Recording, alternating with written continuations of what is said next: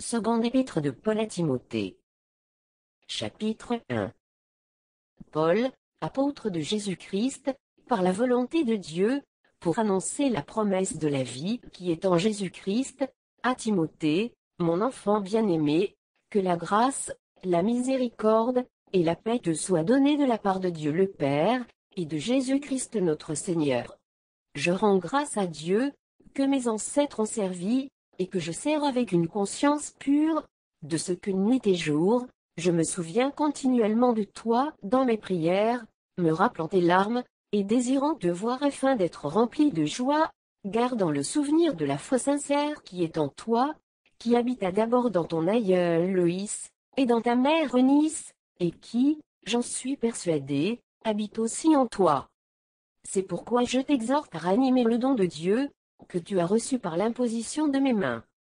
Car ce n'est pas un esprit de timidité que Dieu nous a donné, mais un esprit de force, d'amour et de sagesse. N'aie donc point honte du témoignage à rendre à notre Seigneur, ni de moi, son prisonnier. Mais souffre avec moi, pour l'Évangile, par la puissance de Dieu qui nous a sauvés, et nous a adressé une sainte vocation, non à cause de nos œuvres, mais selon son propre dessein, et selon la grâce qui nous a été donnée en Jésus-Christ avant les temps éternels, et qui a été manifestée maintenant, par l'apparition de notre Sauveur Jésus-Christ, qui a détruit la mort, et a mis en évidence la vie et l'immortalité par l'Évangile. C'est pour cet Évangile que j'ai été établi prédicateur et apôtre, chargé d'instruire les païens. Et c'est à cause de cela que je souffre ces choses. Mais j'en ai point honte, car je sais en qui j'ai cru, et je suis persuadé qu'il a la puissance de garder mon dépôt jusqu'à ce jour-là. Retiens dans la foi et dans la charité, qui est en Jésus-Christ, le modèle des saines paroles que tu as reçues de moi. Garde le bon dépôt, par le Saint-Esprit qui habite en nous. Tu sais que tous ceux qui sont en Asie, m'ont abandonné, entre autres Figel et Hermogène que le Seigneur répande sa miséricorde sur la maison d'Onésiphore, car il m'a souvent consolé, et il n'a pas eu honte de mes chaînes. Au contraire, lorsqu'il est venu à Rome, il m'a cherché avec beaucoup d'empressement, et il m'a trouvé. Que le Seigneur lui donne d'obtenir miséricorde auprès du Seigneur, en ce jour-là. Tu sais mieux que personne, combien de services, il m'a rendus à Éphèse. De Timothée Chapitre 2 Toi donc, mon enfant, fortifie-toi dans la grâce qui est en Jésus-Christ. Et ce que tu as entendu de moi, en présence de beaucoup de témoins, confie-le à des hommes fidèles, qui soient capables de l'enseigner aussi à d'autres. Souffre avec moi, comme un bon soldat de Jésus-Christ. Il n'est pas de soldat qui s'embarrasse des affaires de la vie, s'il veut plaire à celui qui l'a enrôlé et l'athlète n'est pas couronné, s'il n'a combattu suivant les règles. Il faut que le laboureur travaille avant de recueillir les fruits. Comprends ce que je dis, car le Seigneur te donnera de l'intelligence en toutes choses. Souviens-toi de Jésus-Christ, issu de la postérité de David, ressuscité des morts, selon mon évangile, pour lequel je souffre jusqu'à être lié comme un malfaiteur. Mais la parole de Dieu n'est pas liée. C'est pourquoi je supporte tout à cause des élus, afin qu'eux aussi obtiennent le salut qui est en Jésus-Christ, avec la gloire éternelle. Cette parole est certaine, si nous sommes morts avec lui, nous vivrons aussi avec lui. Si nous persévérons, nous régnerons aussi avec lui.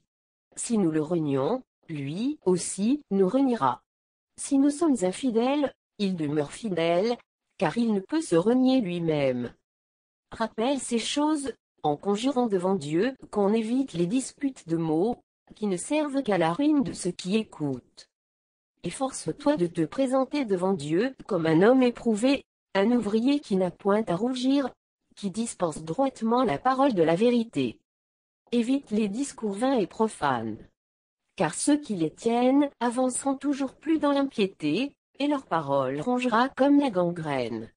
De ce nombre sont Hyménée et Philette, qui se sont détournés de la vérité, disant que la résurrection est déjà arrivée, et qui renversent la foi de quelques-uns.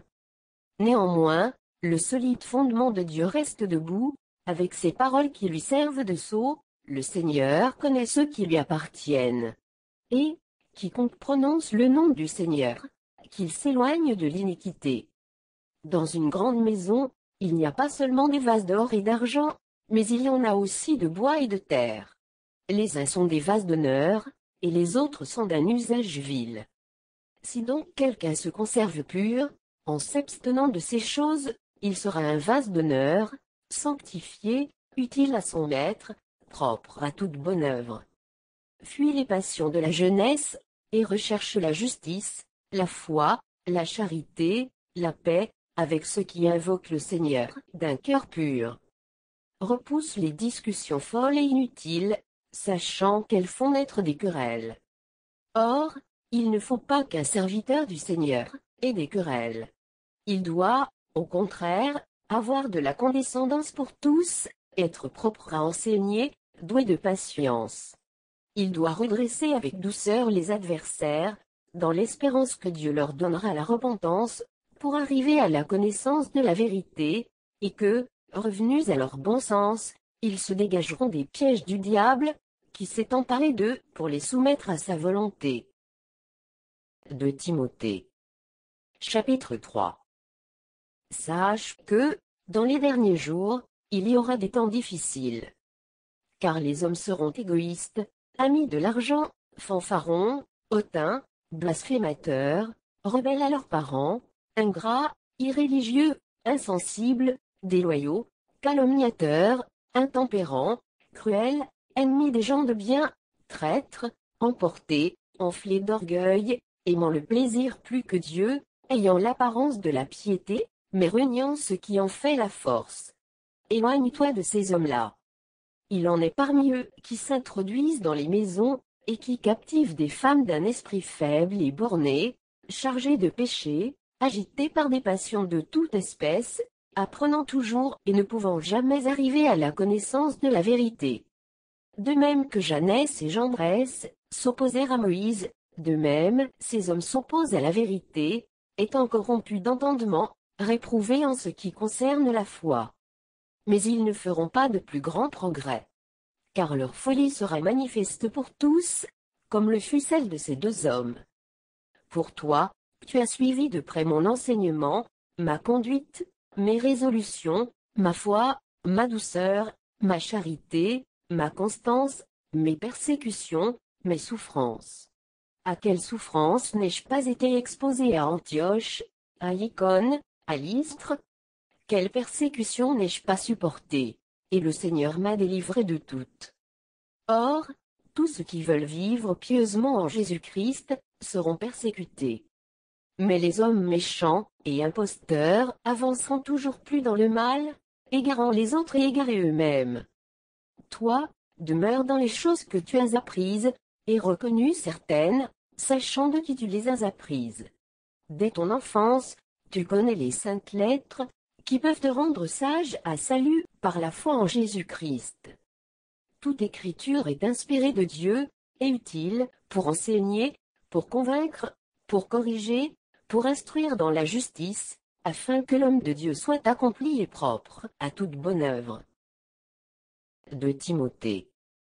Chapitre 4 Je t'en conjure devant Dieu et devant Jésus-Christ, qui doit juger les vivants et les morts, et au nom de son apparition et de son royaume, prêche la parole, insiste en toute occasion, favorable ou non, reprend, censure, exhorte, avec toute douceur, et en instruisant, car il viendra un temps où les hommes ne supporteront pas la saine doctrine.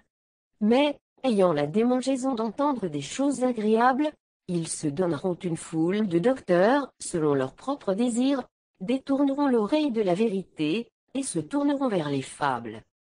Mais toi, sois sobre en toutes choses, supporte les souffrances, fais l'œuvre d'un évangéliste, remplis bien ton ministère. Car pour moi, je sers déjà de libation, et le moment de mon départ approche. J'ai combattu le bon combat, j'ai achevé la course, j'ai gardé la foi.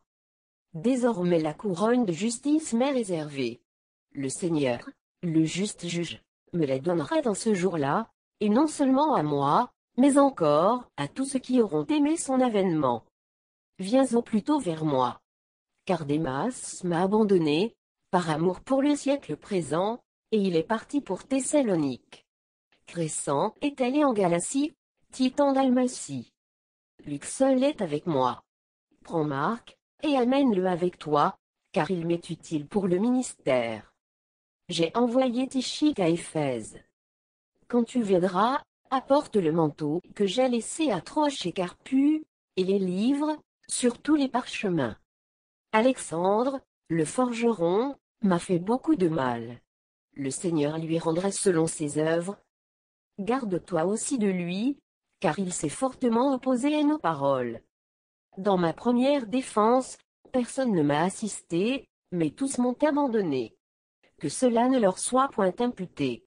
C'est le Seigneur qui m'a assisté, et qui m'a fortifié, afin que la prédication fût accomplie par moi, et que tous les païens l'entendissent. Et j'ai été délivré de la gueule du lion. Le Seigneur me délivrera de toute œuvre mauvaise, et il me sauvera pour me faire entrer dans son royaume céleste. À lui soit la gloire au siècle des siècles. Amen. Salut Prisca et Aquila, et la famille de Nésiphore. Eraste est resté à Corinthe, et j'ai laissé Trophime malade à Millet. Tâche de venir avant l'hiver. Eubulu, Pudent, Linu, Claudia, et tous les frères te saluent. Que le Seigneur soit avec ton esprit. Que la grâce soit avec vous.